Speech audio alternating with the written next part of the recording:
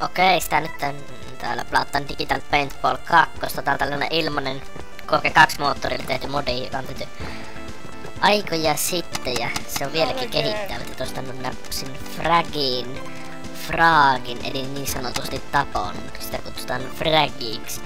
Mutta toisaalta eihän ne kuole. Paitsi en tiedä millaisia paintballeja täällä on.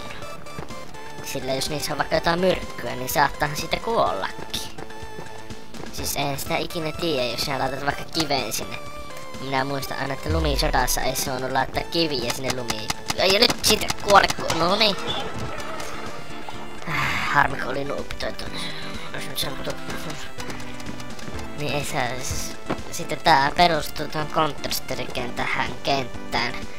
CS Italy on tämä mappi, niin tää on hyvä mulle, kun mä oon Counter Strikea pelannut miljoona tuntia, niin mä osaan tän kentän kaikki paikat ja reijät ja nurkat ihan ulkoa. Siis. Ja tuolla nyt... Oi, oi, oi, oi, oi, oi, oi, oi, oi, sieltä tuli triple kill, sieltä tuli triple kill, sieltä tuli tri... Ah. Vittu vaan hyvä. Vittu vaan hyvä. Ah. Triple kill. Sinne savu vähän ammutaan, kyllä sieltä väkejä tulee, ei tule. Mutta joo, tää vaikuttaa, tää on nyt Game of the Year. Every year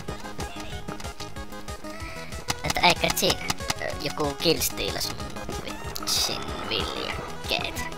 Että joo, minä en oo ikinä tätä paintballia kokeillut, kun mua vähän pelottaa noin, jos vaatteet menee likaisiksi. Aattele. Sitten äiti ei varmaan tykkää, jos mulla on vaatteet likaisiksi, sit pitää pestä.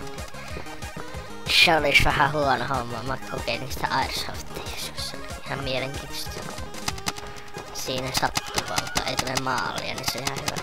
En mene vaatteet. Okei, joku tappaa mut. Okei. Spaff. Spaff. Häh? Hetkonen, onks mä niinku sininen nyt? Se on sininen? Mä en voi tappaa näitä. Voihan veljet. Ja ne spawn reippaa täällä meitä. Hmm. Yeah baby! Yeah, yeah baby, mitä? Mä en voi ampua enää. Ne voitti. Kun joukun sinisille yhdekin.